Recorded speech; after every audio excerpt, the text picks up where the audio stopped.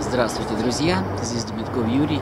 Э, сейчас я хочу рассказать историю э, о том, как я э, начал работать в сетевой компании, что из этого вышло и во что все это вылилось. Вот. Самый неожиданный, кстати, результат, между прочим.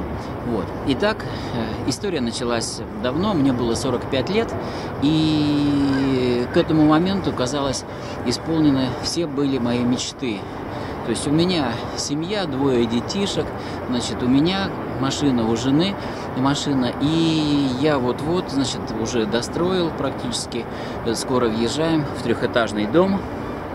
То есть вообще все шикарно, все, жизнь удалась. И э, вот как раз в этот момент у меня, значит, там случается э, внезапно сердечный приступ, и э, ну, я лежу буквально при смерти, в любой момент могу умереть. И в этот момент всегда человек подводит итоги жизни, чего-то добился Юра. И я вот думаю, и вдруг я понимаю, что, в общем-то, сказать, если я сейчас вот э, вдруг умру, то, в общем, я не туда шел, на самом деле. То есть я вроде стремился, чтобы все хорошо. Вот. А на самом деле э, получается, что с этого момента, как только я уйду, э, вся моя семья оказывается в полной нищете, потому что все, так сказать, э, я перестал работать, я больше не могу работать, и все. И я долго-долго думал, у меня три месяца это состояние было, сильно кружилась голова, значит, там, вот. И я долго думал об этом, обо всем, и я понял, что я не создавал пассивный доход. И тогда я вспомнил, что давным-давно, в 90-е годы, ко мне подходила тетенька одна и предлагала мне открыть социально-накопительную программу в американской компании AIG Life. И эта э, накопительная программа должна была обеспечить мне, в общем, так сказать, пенсию э, на, будущ... на будущую пенсию. Вот. И я про нее вспомнил, думаю, где же она? Ну, в общем, сказать, было понятно, что надо было накапливать денежки, э, что я начал делать, и я думаю, ну, а возможность, она когда-нибудь появится, потому что кто-нибудь да ко мне подойдет обязательно. И, ну, я начал откладывать, я начал как бы, этот процесс. Вот. Э, никто не подходил достаточно долго. А потом внезапно все произошло так, как я рассказывал вот в предыдущем видео. Один знакомый, с которым мы, в общем, так сказать, там мало общались, э, внезапно, значит, ну, мы встретились просто случайно совершенно, и он сказал, что у него есть ко мне очень интересное предложение, которое мне наверняка понравится. Говорит, давай встретимся. Ну, я всегда открыт к таким предложениям, мне было очень интересно, э, о чем же он расскажет, и мы встретились у меня дома, и он начинает мне что-то втирать. Это был Валерий Клайдович. Он начинает мне что-то втирать про то, что вот там линию жизни рисует, а ты когда-нибудь думал, на что ты будешь жить в будущем. И вот тут до меня доходит, что это как раз вот э, то самое, чего я ждал. Случилось. А, я говорю, да, все, сказать, давай ближе к телу, давай мне рассказывай о том, э, что ты предлагаешь, какая компания. То есть все это я уже знаю, слышал, а какая компания? Он говорит, Гравы. Я так, подожди, подожди, запиши на бумажечке. Он пишет там Гравы. Хорошо, Грассер Векзельзайтиги. И он, а что за компания такая? Я не слышал. Он говорит, австрийская. Я такой, бамс.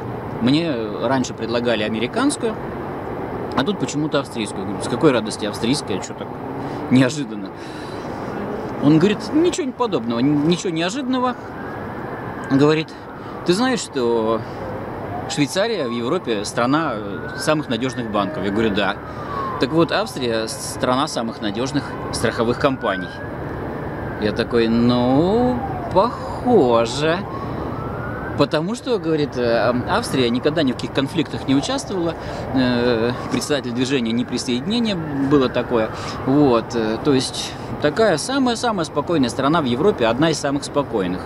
Ну, похоже на правду, думаю. Хорошо.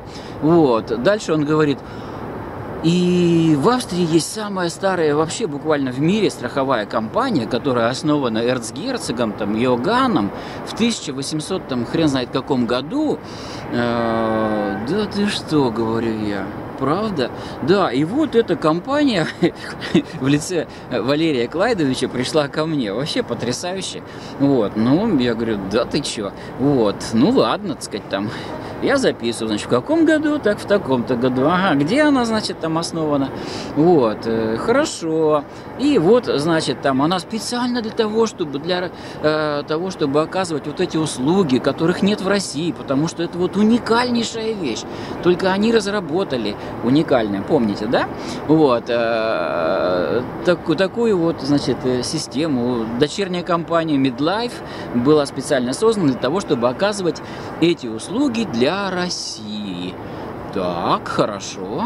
Ну, а вы-то, Валерий Кладович, здесь при чем?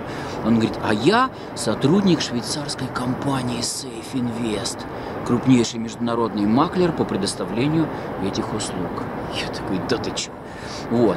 Ну и, короче говоря, значит, э, я у него выясняю всю-всю информацию э, самым подробнейшим образом, э, смотрю внимательно ему в глаза, кто знает, тот поймет.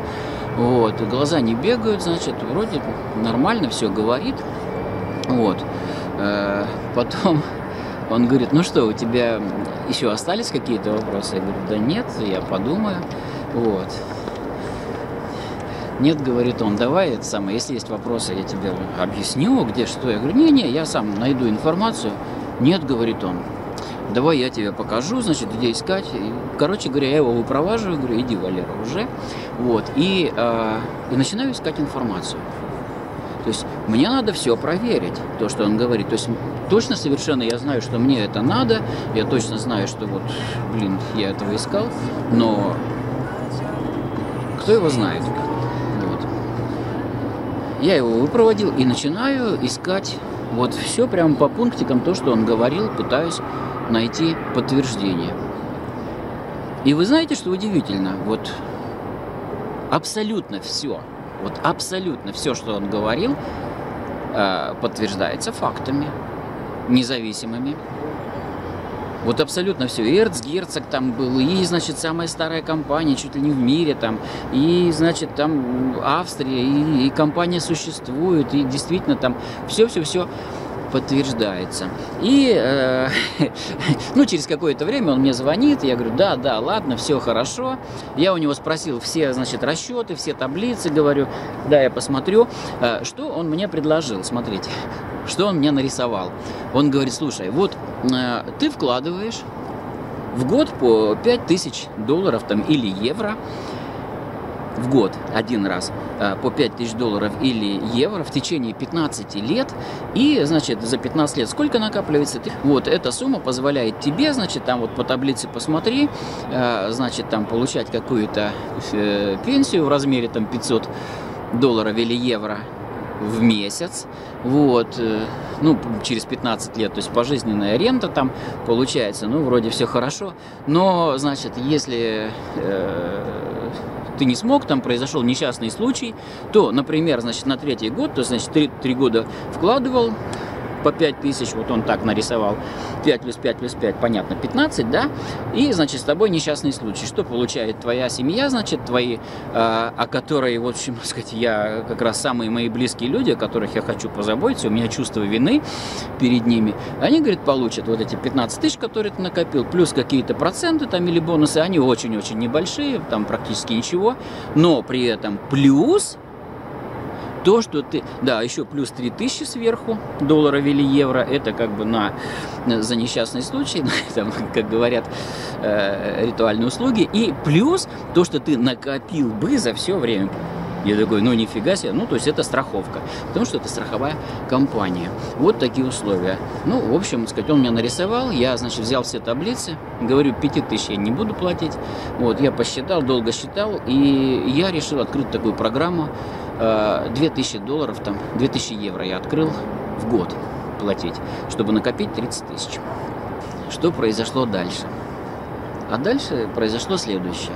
Значит, моя жена такая, Ну, то есть она не устраивала истерик никаких, что там типа, а, деньги из семьи, а ты хочешь у меня, значит, там, эти деньги неделимы, и в случае развода они там не делятся между супругами. Вот, ничего такого она не устраивала, она говорит, слушай, а я хочу себе такую же программу. Я такой, оба-на. Так, совершенно неожиданный поворот. Вот. Я такой, ну, ладно, говорю.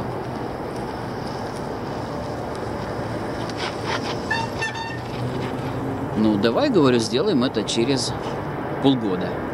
Да, хорошо. Вот, и, значит, ну, там через какое-то время Валера приезжает, вручает мне полис, там все нормально, без проблем. Вот. Я говорю, ну, теперь для жены хотим сделать программу. И тут он, значит, начинает мне продавать бизнес. Вот. Он говорит, слушай, блин, надо съездить на семинар, и ты как сотрудник уже, сказать, ну, как бы получишь за это э, премию очень даже не маленькую, ну, то есть комиссионные, вот, э, в размере там что-то 250 долларов, ну, евро в смысле, вот, я такой, ну, премия или вот это вот, она же мне душу греет, я же жлоб такой. А если ты, говорит, ну, дальше ты получишь возможность кому-то предлагать другому, и, значит, там еще там троим-четырем предложил, и все, у тебя вот они, значит, денежки, и, и ты можешь даже зарабатывать достаточно много. Он рисует мне вот всю эту схему сетевого маркетинга, которую я нарисовал, там действительно нужно много заработать. Я очень не хотел туда ехать. Я долго-долго вот уламывал, он меня долго-долго уламывал. В Турцию надо было ехать. Э, стоит это немало, там 800 долларов это стоило. То есть, в принципе, как бы, ну, говорит, вот это вот такое условие. И после долгих уламываний я в конце концов соглашаюсь. Летим в Турцию. Прилетаем туда, там нас встречают, все шикарно, значит. Едем в шикарнейший папилон Аиша отель. Э, там очень шикарный отель, без дураков, прям вообще. Кто был, тут знает.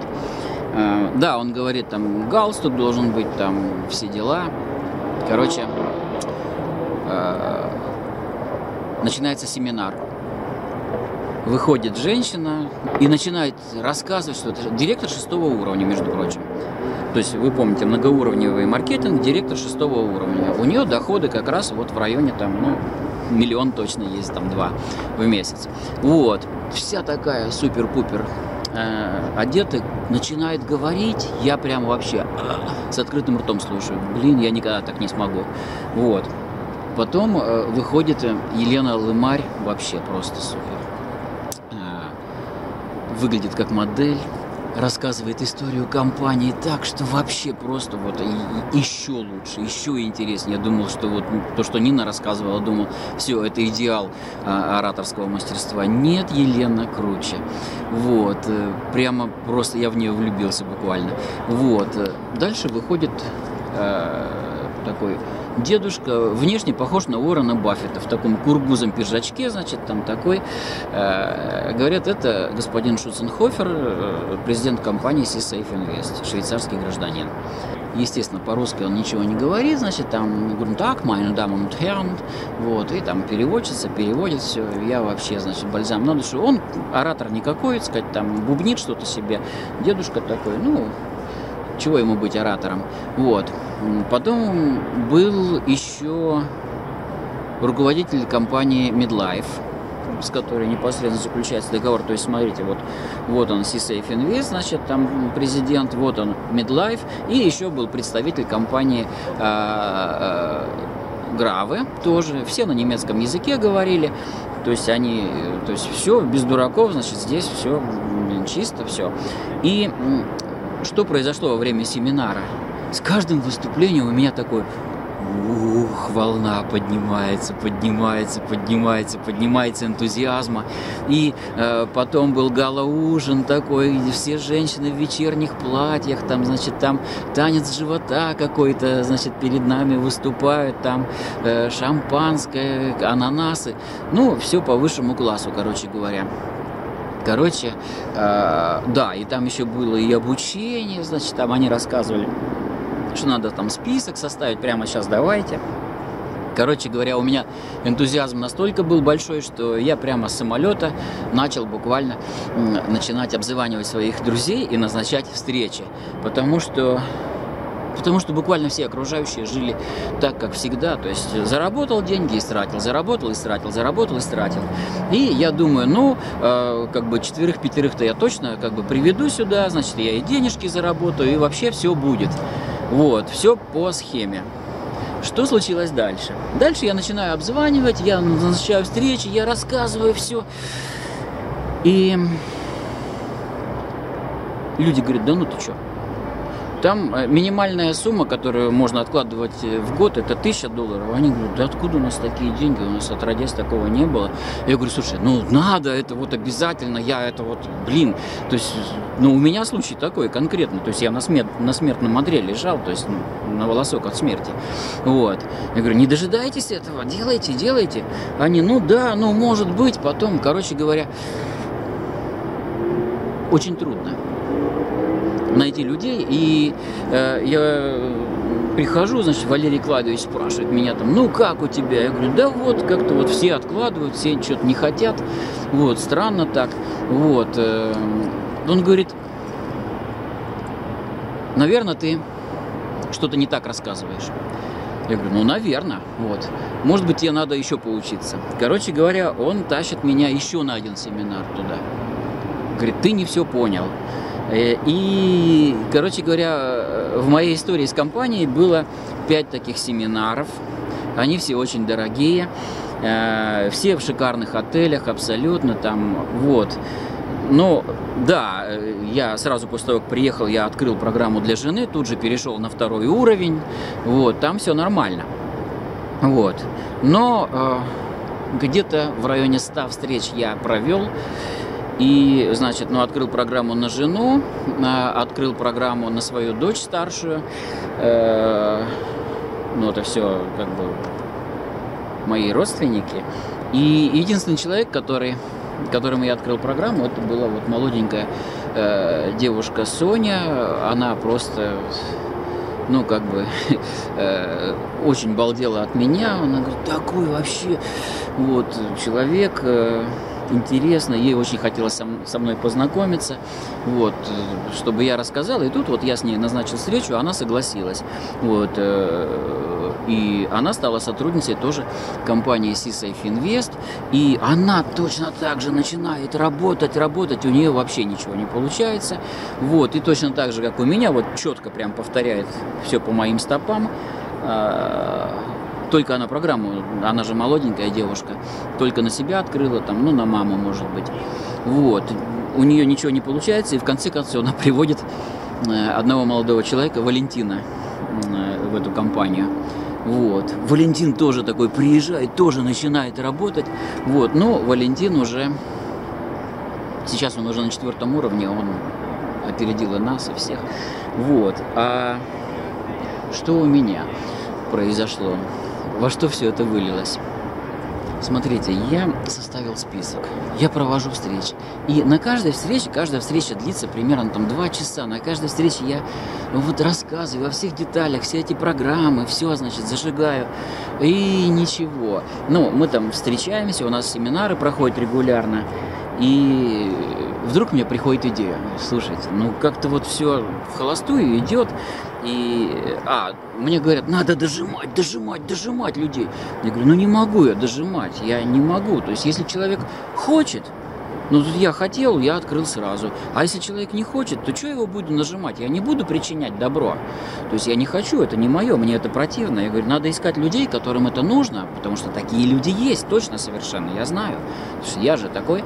Вот. Поэтому я говорю, надо просто больше искать, больше встречаться, больше контракт, э, контактов. И э, вот эти холодные контакты с абсолютно незнакомыми людьми, они, э, я говорю, ну не очень. Вот. И вообще, я говорю, э, есть же, блин, интернет интернет, я говорю. Я говорю, есть э, YouTube, где можно просто вот эту беседу о продажах взять, записать на видео один раз и дать рекламу, ее тысячу раз просмотрят. То есть я за там три месяца 100 встреч провел, а тут я могу дать рекламу и говорю, тысячу раз посмотрит одно и то же видео, я сплю, видео смотрят на мной и так далее. Прямо вот вообще все по классике. Я говорю, надо вот туда идти. И мне такие говорят, Юра, ты не то делаешь. Ты не туда ведешь. А я уже, значит, заболел этой, сказать, болезнью. И, значит, говорю, нет-нет, надо, надо YouTube, надо, значит, развивать канал, надо объяснять людям, надо давать рекламу. И инфобизнес. Я записываюсь на курсы инфобизнеса. Вот, они говорят, э, ты не то делаешь. Вот. Мне, короче, ты, ты приносишь буквально вред, ты разваливаешь компанию.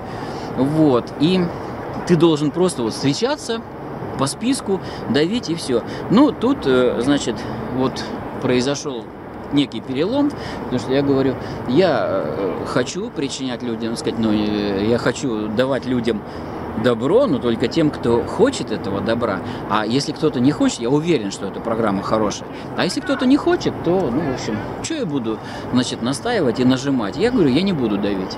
А мне говорят, дави. Вот. И, в общем, на этой основе мы разругались, мы разошлись. Я сказал, что я буду, я пойду своим путем. Ну, мне такие, так сказать, это самое. Ну и что ты со своим инфобизнесом добился? Ты что-то добился?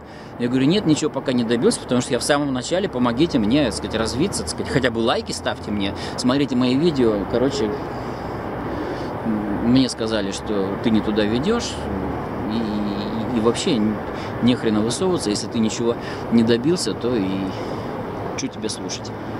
Вот. Короче говоря, э, что из этого вышло? В результате я создал свой YouTube канал. И я был убежден, что вот это нужно людям, что я несу добро.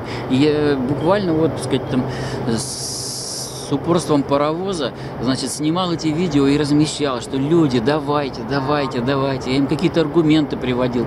Они говорят, ну тысячу долларов накопить, это же надо что-то сделать там как-то. Я говорю, начинай откладывать немедленно.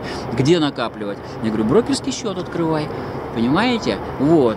А они говорят, а я не знаю, как его открыть. Я говорю, я тебя научу брокерский счет открыть. А я не знаю, куда вкладывать. Я говорю, я научу, куда вкладывать. Короче, вы поняли, да? Что значит, смотрите, э, вот из этой вот сетевой компании, в которую я, э, значит, э, вступил, в принципе, там проблем нет, там все хорошо, но очень уж тяжело зарабатываются деньги. Я просто сказал, что надо использовать в этом деле интернет, вот, э, сказать, меня не поддержали, я разругался и э, я сказал, все, я пойду своим путем. Когда у меня получится, вы ко мне вернетесь. Вот. И вот результат вы видите. Прошло с тех пор 6 лет. У меня YouTube канал. Сейчас уже 40 тысяч подписчиков. Естественно, накоплен огромный опыт в этом деле, в инфобизнесе. И сейчас уже ко мне прислушиваются, конечно, потому что, ну, сетевые компании за мной роем ходят и говорят, слушай, ты расскажи про нашу компанию, расскажи про нашу. Но да и не только сетевые, значит, многие компании финансовые вокруг меня ходят, давай, ты про нас расскажи, ты давай про нас расскажи, но я рассказываю только про те компании, которые, в которых я более-менее уверен, или, ну, если я не уверен, то я говорю, что вот здесь такие риски. Вот, и я буду продолжать это делать, потому что вот только так я не хочу подводить никого, я хочу только вот то, что я сам попробовал рассказывать. Поэтому я вот, ну, продолжаю это делать. И посмотрите, что получилось в результате. Э, то есть я как бы начал работать с сетевой компанией, с компанией сетевого маркетинга. Во что это вылилось? Это вылилось в YouTube-канал по финансовой грамотности. Это вылилось в YouTube-канал «Как сделать так, чтобы деньги были всегда», о создании источников пассивного дохода, о биржевой торговле, об акциях, о фондовом рынке. И не только об этом, а как раз вот, в общем, как создать э, как раз вот э, пассивный доход. Да, и что дала мне эта компания сетевая? Ну, очень-очень много. Были тренинги. Э, они заставили меня переступить через себя, значит, во многих смыслах, значит, там выйти из зоны комфорта, начать встречаться с людьми, начать вот это новый бизнес, новые люди, то есть вот просто в моей жизни появилось огромное количество новых людей, успешных, э, не депрессивных, это очень-очень здорово, поэтому, поэтому я и говорю, что э, в принципе сетевой маркетинг это очень-очень здорово, это нужно, это полезно, этим надо заниматься, потому что, ну, есть вот такие э, какие-то вот э, э, вещи, которые э, связаны просто с этим рядом. И они тоже очень полезны. И на самом деле, наверное, польза вот от этих вот второстепенных вещей, она даже больше, чем от самого сетевого маркетинга.